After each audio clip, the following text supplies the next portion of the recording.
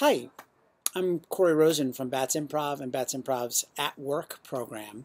And I'm just going to tell you a little bit about the At Work program and, and some things that we're doing these days. You know, it's been a really interesting seven months. You know, the typical Bats uh, At Work offering was to bring trainings, classes, workshops, and things like that to companies or to teams or to groups to help them connect, uh, whether we would come to your office or you would come to the Bats Theater to do that.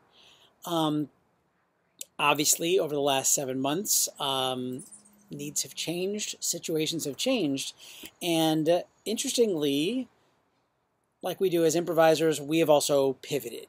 And we've been able to still do all of these trainings and all of these courses.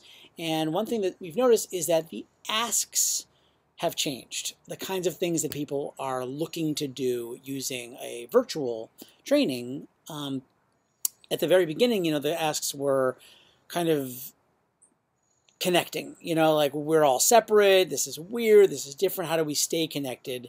So it was very play minded and play focused in terms of like, let's just laugh through a stressful and difficult time in the middle of the summer, the shift started to happen in terms of like, okay, we're settling into this, not just play, but how do we use this tool? How do we use video conferencing, for example, to listen, to uh, hear each other, to be able to still do the work that we need to do, uh, even if it's in a different way.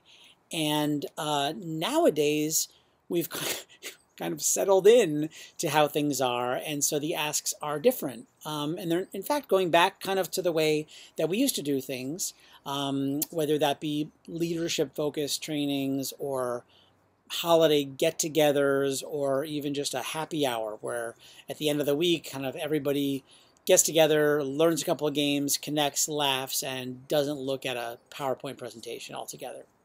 Um, through it all, I think the thing that we've realized is that even in these stressful and strange times, humor is still very important. It makes us creative, it makes us resilient, it makes us resourceful.